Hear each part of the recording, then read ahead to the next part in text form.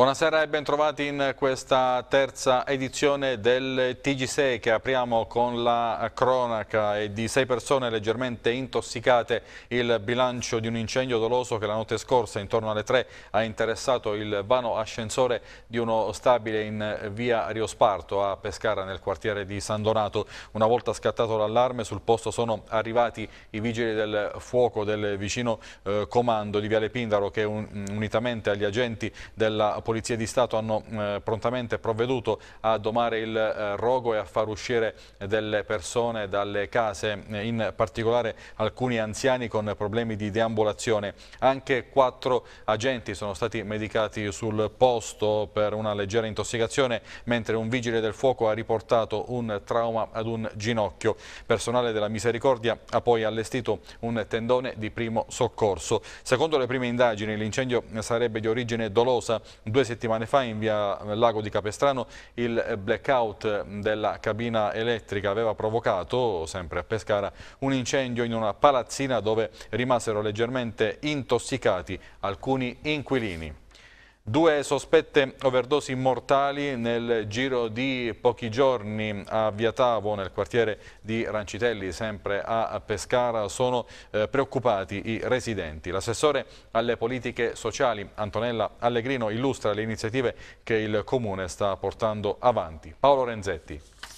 Occorre un impegno di tutta l'amministrazione comunale, non è sufficiente un solo assessorato. E di fatto questo impegno c'è ed è particolarmente importante perché sulle periferie si stanno effettuando degli investimenti che eh, saranno eh, strettamente legati alla, a dei finanziamenti di carattere, eh, di carattere governativo eh, che eh, caleranno 18 milioni eh, di euro su tutte le periferie di Pescara, quindi anche su Rancitelli. E sono soldi eh, che riguardano sia progetti di eh, ristrutturazioni e sia progetti eh, di carattere sociale. Certamente questo sarà un percorso lungo, un percorso che l'amministrazione ha già avviato e mentre le politiche sociali tendono prettamente ad affrontare le situazioni e quindi a stare a fianco ai singoli nuclei familiari e, e attraverso i servizi sociali vi sono numerosi nuclei familiari che sono eh, seguiti proprio dai servizi sociali. L'altro tema è quello anche anche delle delle case popolari e che quindi è della concentrazione di una serie di eh, abitazioni eh, di carattere popolare all'interno delle per periferie. Su tutto questo si sta lavorando per ottenere risultati migliori e perché le periferie diventino parte centrale della città. I residenti sono però preoccupati per tutto quello che accade, si parla anche ovviamente di problematiche di ordine pubblico, residenti che chiedono però una maggiore presenza delle istituzioni. Per quanto riguarda il presidio del territorio, certamente queste sono azioni che devono essere portate avanti e dalle diverse istituzioni e dai diversi soggetti, quindi sia in termini di ordine pubblico, quindi di questura, di prefettura, di, eh, di comuni, di amministrazione comunale, di polizia quindi municipale e, e di tutte le realtà realtà che eh, operano eh, a livello di ordine pubblico. Nel frattempo stiamo creando proprio una rete di associazioni in ognuna delle periferie, quindi anche nell'area eh, di Rancitelli, per fare in modo che l'intervento nasca dal basso, che siano gli stessi cittadini supportati dalle, dalla pubblica amministrazione, in particolare dall'ente comune, eh, a, eh, ad affrontare questa situazione e a, che certamente nel tempo, perché sono azioni che non hanno una soluzione eh, immediata nel tempo a eh, modificare anche l'aspetto culturale del vissuto della città. Individuati e denunciati dalla Digos di Pescara i due giovani ritenuti responsabili dell'aggressione a sfondo neofascista avvenuta nella notte tra il 20 e il 21 maggio davanti a un circolo Arci di Pescara Vecchia. Si tratta di un 24enne ed un 25enne che vivono rispettivamente nel capoluogo Adriatico e a Silvi. I due, che al momento sono indagati per lesioni, secondo gli accertamenti appartengono all'area di estrema destra. A loro gli uomini della Digos di Pescara, diretti da Leila Di Giulio sono arrivati dopo le indagini del caso. Quanto accaduto è stato ricostruito non solo grazie alla visione delle immagini registrate dalle telecamere di sorveglianza della zona, ma anche attraverso l'ascolto delle due vittime e di alcuni eh, testimoni. Eh, stamani su delega del procuratore aggiunto Gennaro Varone, la Digos ha, ha eseguito una eh, perquisizione eh, domiciliare in casa dei due eh, giovani a Pescara e a Silvi. I due, eh, uno studente e un lavoratore, nella notte tra il 20 e il 21 maggio, secondo la ricostruzione, erano entrati nel circolo Arci definendosi eh, razzisti e fascisti. Invitati ad uscire eh, all'esterno del locale avrebbero aggredito due persone, entrambe finite in ospedale con una prognosi di 20 giorni. Sull'episodio proseguono gli accertamenti ad opera della Digos. E ora cambiamo decisamente pagina, l'ex ministro alle infrastrutture eh, Matteoli è stato all'Aquila per sostenere la candidatura di eh, Biondi, il eh, centrodestra ha detto sarà vincente perché unito. Daniela Rosone. Il centrodestra all'Aquila è vincente, come tutte le volte che si candida unito. Parole dell'ex ministro per le infrastrutture Altero Matteoli all'Aquila per sostenere la candidatura di Pierluigi Biondi, che dopo tanto peregrinare ha ricevuto anche l'appoggio da Forza Italia. Un nome quello di Biondi condiviso e scelto da Roma, che è stata, detto Matteoli, sempre in contatto però con il coordinatore Nazario Pagano. L'unità c'è sempre stata, sottolineato, non è stata affatto tardiva, semmai tardiva è stata la scelta del nome. Matteoli, sul risultato aquilano, si mostra molto fiducioso. Chi ci ha governato prima di noi, ha detto, non ha lasciato una situazione molto brillante. Rivendichiamo il fatto di essere arrivati qui a poche ore dal terremoto, aver operato immediatamente. Si spera che gli elettori, ha detto, dell'Aquila ci riconoscano questo. Sui sondaggi che darebbero Forza Italia intorno al 20% in città ha detto se lavoriamo così come nelle ultime settimane è possibile raggiungere quelle cifre, l'auspicio. A livello nazionale, invece, ha detto l'alleanza con il Partito Democratico non è ventilata, ma mi spaventa. Non sono certamente d'accordo, ha detto Matteoli ancora. Una cosa è un'alleanza tecnica per fare una legge elettorale. C'è sempre stata, anche nella Prima Repubblica, ha portato questo esempio, c'erano delle cose che si facevano insieme tra Partito Comunista e Movimento Sociale Italiano, ma questo non c'entra nulla con un accordo politico. Il coordinatore regionale degli Azzurri, Nazario Pagano, ha ricordato che il grande attaccamento a questa terra e la capacità di raggiungimento dei risultati dell'ex ministro hanno fatto raggiungere risultati importanti all'Aquila. Ricordo nelle ore immediatamente successive al terremoto, mentre all'Aquila attendevamo l'arrivo dell'allora premier Silvio Berlusconi, per una prima riunione che Matteoli era già presente, aggiunge. Poi è stata la volta di Pierluigi Biondi. Matteoli devo ringraziarlo tre volte perché nel 2014, quando a causa della disattenzione del governo Renzi ci fu il blocco dei fondi per la ricostruzione e io feci la clamorosa protesta dello sciopero della fame, mi mandò un messaggio di solidarietà. E poi perché da abile tessitore della tela ha portato il centrodestra a essere unito a queste elezioni. Infine da cittadino elencato Biondi perché assieme a tutta la squadra di governo che nel 2009 accompagnava Berlusconi fu tra coloro che maggiormente mise mano al portafoglio portafogli e questa è storia vera. L'assessore regionale alla caccia e alla pesca Dino Pepe ha illustrato l'avviso pubblico del FEAMP per l'erogazione di contributi per la realizzazione di interventi nell'ambito della pesca e dei porti per migliorare la tracciabilità dei prodotti ittici e per la sicurezza dei pescatori e le condizioni di lavoro. A disposizione 1,8 milioni di euro. In arrivo fondi importanti per la marineria abruzzese, si parla di porti, si parla di pesca, ma non solo, Assessore. Il Fondo Europeo per la Pesca ha destinato all'Abruzzo per il periodo 14-20 18 milioni di euro, 4 milioni di euro in più rispetto alla programmazione precedente 7-13.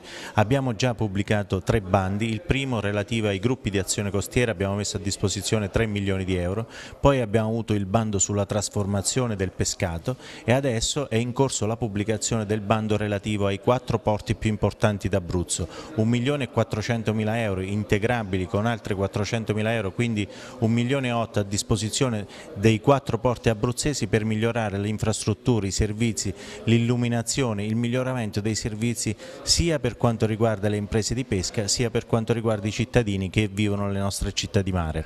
Si parla anche di tracciabilità del pescato? Sì, ci sono risorse anche per quanto riguarda la tracciabilità, così come come risorse per quanto riguarda lo sviluppo della competitività e l'ammodernamento delle nostre imprese e poi bandiremo anche altri avvisi pubblici riguardanti l'acquacultura, un settore molto importante che va sostenuto e sviluppato nella nostra regione. Nasce il nuovo battaglione Orta nel nono reggimento Alpini, voluto dal ministro Pinotti per la gestione delle emergenze e delle calamità. Avrà all'inizio circa 300 militari impiegati.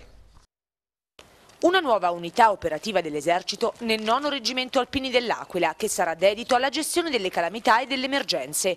In un momento di ridimensionamento dei costi, il ministro Roberta Pinotti punta sulla specializzazione dell'esercito ed è stata lei stessa a scegliere l'Aquila per la realizzazione di questo nuovo battaglione, il battaglione Orta, che sarà comandato dal tenente colonnello Fulvio Menegazzo.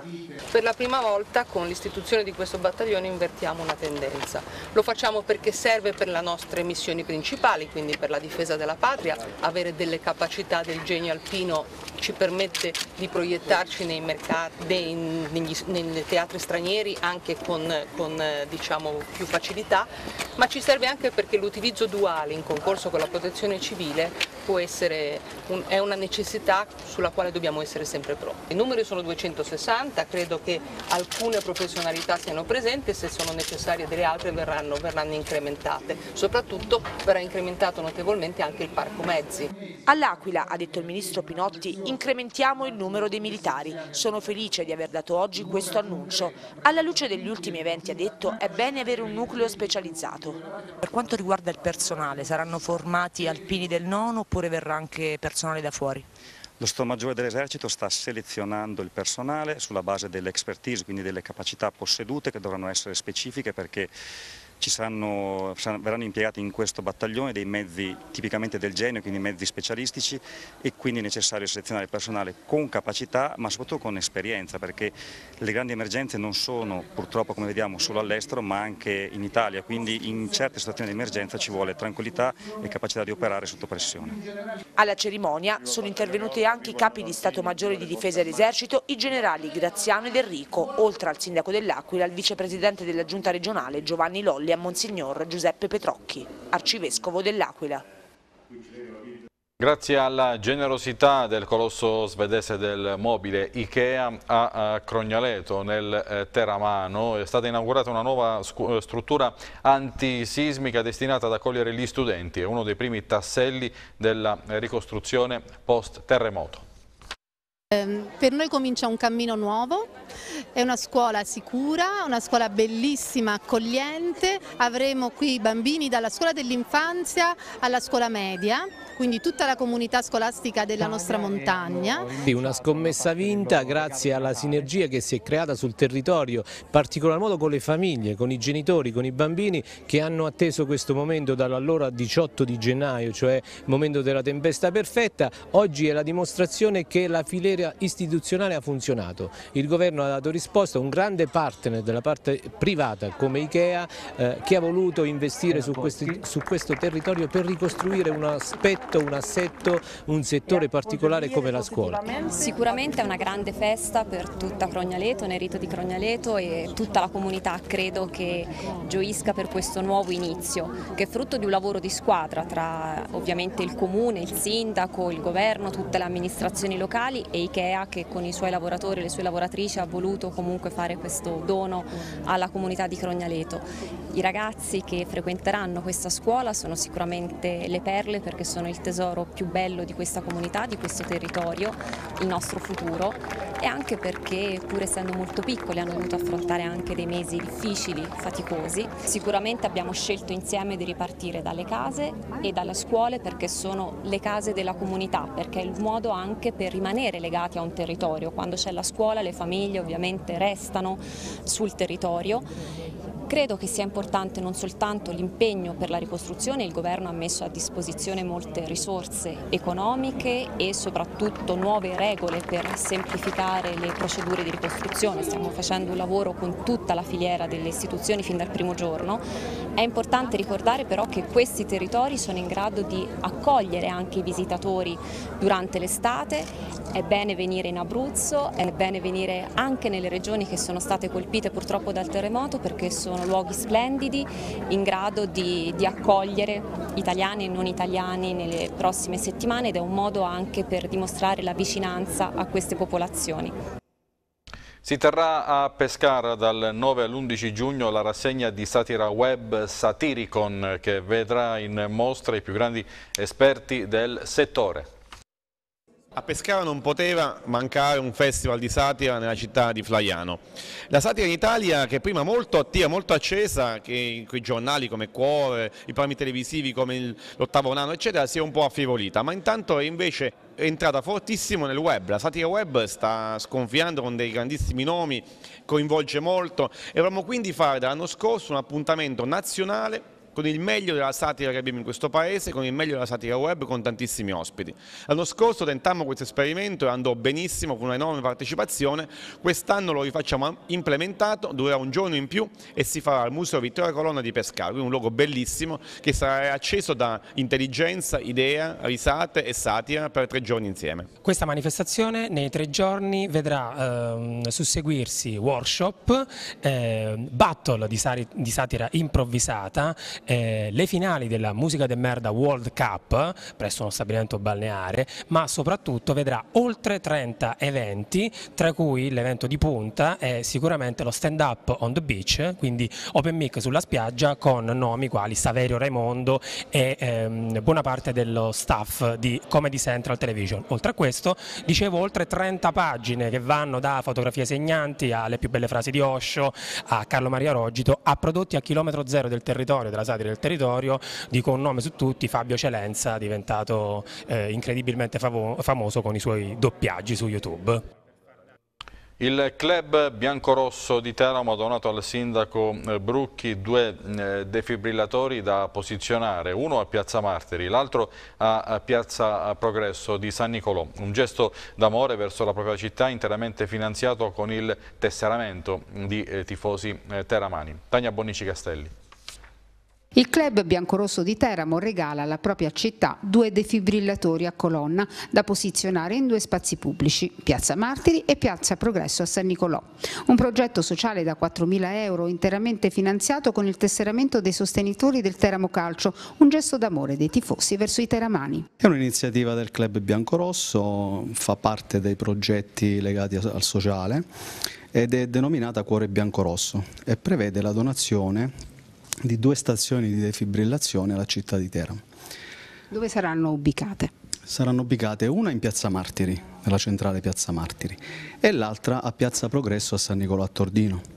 Abbiamo cercato di coprire un po' tutto il territorio perché diciamo anche come club abbracciamo insomma, anche la tifoseria non solo di Teramo Teramo ma anche delle frazioni. Ma perché proprio due defibrillatori? Diciamo è stata, stata un'idea, un'idea diciamo, nata durante i consigli direttivi, volevamo fare qualcosa per la città perché diciamo, la tifoseria è vero che fa riferimento alla squadra di calcio, però di fatto eh, l'amore per la squadra di calcio è un amore anche per la città di Teramo.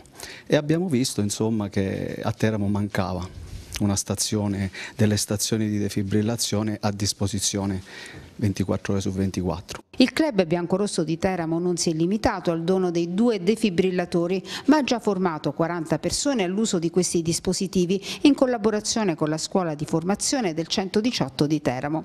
Alla consegna dei macchinari in municipio ha partecipato anche il sindaco Maurizio Brucchi che ha scherzato, ipotizzando la necessità di dotare la sala ipogea di almeno 4 defibrillatori per il prossimo cruciale consiglio comunale del 6 giugno. Grande successo per il eh, progetto Erasmus della scuola Tinozzi di Pescara che ha coinvolto numerosi studenti con scambi culturali con ragazzi di alcuni eh, paesi dell'Unione Europea. Siamo con il dirigente scolastico della scuola Tinozzi per parlare del grande successo ottenuto da questo progetto Erasmus Plus. E professoressa, vogliamo spiegare di cosa si è trattato? Allora, Erasmus Plus è il nuovo programma che dal 2014 ci accompagnerà fino al 2020. Noi come scuola abbiamo eh, progettato e realizzato il progetto Flip and Movie che eh, si occupa di lettura e scrittura creativa. Perché? Perché noi abbiamo analizzato i dati statistici in cui i ragazzi quindicenni non hanno più quella capacità e quella competenza linguistica. Quindi come invogliare i ragazzi alla lettura e alla scrittura, renderlo veramente un elemento trainante per il futuro di queste giovani generazioni. Per questo il progetto, coordinato dall'Istituto Comprensivo Pescara 8, ha eh, coordinato varie scuole della Lettonia, della Slovacchia, della Croazia, della Spagna. E insieme abbiamo realizzato un kit di formazione che si chiama Be Happy to Read and Write e un educational game che è proprio Story Inventor. Sono stati coinvolti più di una sessantina di ragazzi, di studenti di tutte le, le cinque scuole partner, solo qui da Latinozzi sono partiti 26 ragazzi, ma anche ha coinvolto le loro famiglie che quindi si sono appassionate a questo progetto europeo e lo stesso gli insegnanti. Apriamo la pagina dello sport, la nazionale di ciclismo paralimpico svolgerà un ritiro agonistico a Pescara dal 5 all'11 giugno nell'ambito del progetto Solidarietà fa sport dell'assessorato alle politiche sociali. Domenica 11 eh, giugno ehm, si svolgerà un evento interessante, vediamo. La Nazionale Paralimpica di Ciclismo svolgerà un ritiro a Pescara dal 5 all'11 giugno per preparare dei grandi appuntamenti che ci saranno in questa estate. Con Pierpaolo Addesi parliamo eh, di questa avventura che inizierete a breve ma anche di solidarietà. Sì, un, un, ritiro importante perché in vista della terza prova di Coppa del Mondo che si svolgerà in Olanda a fine giugno e poi ci sarà un lavoro diciamo, eh, concentrato per i mondiali in Sudafrica che ci saranno a fine agosto. Una nazionale che torna in Abruzzo, questo è un appuntamento importante perché rientra eh, diciamo in un progetto che è nato con il comune di, di Pescara, il progetto Solidarietà fa Sport, dove comunque ci saranno delle giornate, saremo impegnati sia in una pedalata eh, della solidarietà che si farà l'11 giugno a Pescara, e, e, poi il 7 ci sarà una, la premiazione a conclusione di questo progetto, sempre qui nella, nel Palazzo di Città con la partecipazione della Nazionale e delle altre associazioni che hanno fatto parte del, di questo progetto importante perché un progetto svolto all'interno delle scuole, un messaggio portato ai ragazzi perché comunque eh, di fronte alle difficoltà, alla disabilità non bisogna fermarsi, eh, ci sono tanti atleti che hanno diciamo, trasformato questa, questa sfortuna tra virgolette in un'opportunità, quindi comunque il messaggio è questo, mai arrendersi e magari dalle cose più brutte tirar fuori il meglio di noi. Questa è una partnership che si rinnova, abbiamo già avuto due ritiri, uno a Pineto e uno a Francavilla al Mare, questo è il terzo che si terrà a Pescara, quindi ciò dimostra che c'è una, una, partecipazione del Comitato regionale all'attività di questa nazionale importante. Di questo dobbiamo ringraziare soprattutto sia il commissario tecnico Mario Valentini, ma direi anche Pierpaolo Addesi, il nostro atleta di punta in questo tipo di attività, che si dà da fare tantissimo, oltre che come atleta agonista, ricordiamo che ha partecipato a campionati del mondo e Paralimpiadi, Paralimpiadi, ma anche come organizzatore sia di eventi di nazionale paralimpica, ma sottolineerei che si impegna anche nell'attività giovanile. Faccia a faccia ieri sera nel corso della trasmissione Replay, ospite di Enrico Rocchi, il presidente del Pescara Daniele Sebastiani, tanti gli argomenti trattati. Ascoltiamo alcuni dei passaggi eh, salienti in questo estratto. Ah, sul piano tecnico sicuramente non possiamo non ammettere che ci sia stato un fallimento, ci sono modi e modi per retrocedere. Noi eh, lo abbiamo fatto in maniera secondo me sbagliata perché tutti però, parlo della squadra, della società che ha fatto i suoi errori, eh, dei tecnici e anche di una parte del pubblico perché se è vero come è vero che il Crotone ha costruito la sua salvezza nell'ultimo mese e mezzo, eh, rimanendo uniti e rimanendo tutti quanti insieme a lottare, perché quello è quello che doveva, si doveva fare. Noi purtroppo questa lotta l'abbiamo abbandonata un po' da, da, un po' di mesi, anche in un momento in cui c'era ancora spazio per lottare. Come nascono i problemi con gli annascoli? Un'avvisaglia c'era stata già cinque anni fa, perché cinque anni fa... Eh, durante, fa quando è entrato. Durante primo, la prima Serie A, a gennaio alcuni soci, eh, praticamente io non avevo le quote di maggioranza, praticamente avevano fatto già tutto per farmi fuori e questa è la realtà, eh, salvo poi qualcuno tirarsi indietro e passami il termine e sputtanarsi tra di loro perché non si è capito di chi è la colpa. Come si può risolvere? Ma si può risolvere quello con quello che sto facendo, cioè si può risolvere facendo in maniera tale che eh, io venda le mie quote e quindi se le compra lui rimane lui da solo e fa quello che vuole. Se le compra un terzo magari avrà modo di dialogare con il terzo in maniera tale che se non va d'accordo con me c'è questa possibilità? assolutamente sì assolutamente sì perché ripeto eh, io devo lavorare assolutamente in quella direzione. Vorrei avere altri dieci amici come Moggi non solo come amici ma anche per quello che hanno fatto per il Pescara.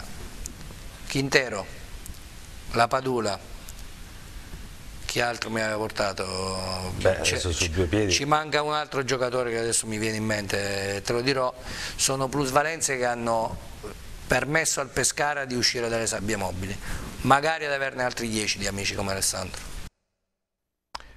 E scendiamo in Lega Pro a salvezza appena eh, raggiunta il direttore generale del Teramo Gianluca Scacchioli racconta la sofferenza per raggiungere il traguardo al culmine di una stagione costellata eh, da errori e volge lo sguardo ai prossimi giorni importanti per disegnare il futuro del club biancorosso. Gianluca quanta sofferenza è stata una partita veramente ha rappresentato un po' tutta l'annata secondo me quindi purtroppo devo dire sicuramente non ben giocata, al di là delle attenuanti che ci possono essere una finale di playout, chiamiamola così, sicuramente con tanta tensione, tanta paura, quindi sono tutte le componenti che di solito ulteriormente ti penalizzano. Noi siamo stati bravi perché comunque la, la salvezza è meritata visto le due partite. E quindi la cosa più importante che oggi deve sembrare un miracolo, perlomeno per noi sembra che Teramo città abbia mantenuto questa categoria. Ed è una cosa importante visto l'annata ricca di errori, ricca di errori, ricca di situazioni che di solito le annate così ti condannano per poi ripartire dalla Serie D che è un campionato non, non facile da vincere assolutamente, quindi io credo che alla fine sia andata bene. Il futuro del Teramo? Oggi credo che non si debbano commettere gli errori del passato e questa annata debba servire a tutti, al di là poi del proseguio o meno mh, nella società a crescere perché attraverso gli errori, attraverso le annate così difficili si può crescere sotto tutti i punti di vista. Quindi oggi il Teramo non credo debba programmare in questo momento, oggi deve godersi questa categoria, poi dalla prossima settimana ognuno fa le proprie considerazioni, parlo delle persone più importanti come il Presidente per cercare... Questo progetto col San Nicolò di cui si è tanto parlato, cosa possiamo dire? Sì, di, eh, di conseguenza una volta che ci sono le considerazioni personali del Presidente che è la prima figura della società, poi si vedrà professionalmente come sviscerare diciamo, le diverse soluzioni al fine di migliorare l'assetto societario. Poi qualsiasi sia la società sicuramente oggi bisogna solo pensare al mantenimento di questa categoria. E peraltro è già possibile dire che buona parte di questo gruppo sarà smantellato perché insomma, le problematiche sono state tante quest'anno. Sì, le problematiche sono state tante, nel primo impatto da smantellare sarebbe tutto perché tutti, tutti dovrebbero essere distruttivi. Nel calcio sono annate negative come queste di solito le paghi a caro prezzo, noi ci siamo salvati e abbiamo mantenuto la categoria. Parlare oggi di, dei giocatori che vanno via, che rimangono, già sarebbe un, per me un un ulteriore errore. Oggi c'è da pensare nelle prossime settimane che tipo di forza può avere questa società, chi può dare una mano, chi vuole subentrare, chi ha la possibilità di sostituire anche il Presidente Cambidelli qualora lui voglia sicuramente dare spazio a qualcuno che lo, lo, possa aiutare o qualcuno che lo possa sostituire. Sono tutte considerazioni che si faranno con calma e poi verrà l'aspetto tecnico, sicuramente è un'annata che ha aiutato tanto un po' tutti, di questo sono sicuro.